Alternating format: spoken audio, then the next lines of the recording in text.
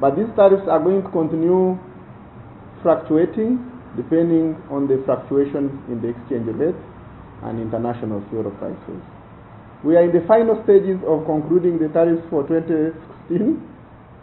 We have taken a cautious decision to diversify our energy resources. We have licensed a number of different technologies, including solar, including wind, by the way, 20 megawatts of wind.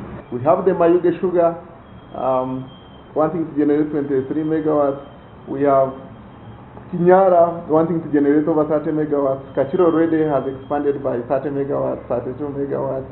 And we have other generation companies, uh, other sugar plants rather, that are trying to go into generation, including SCOUL.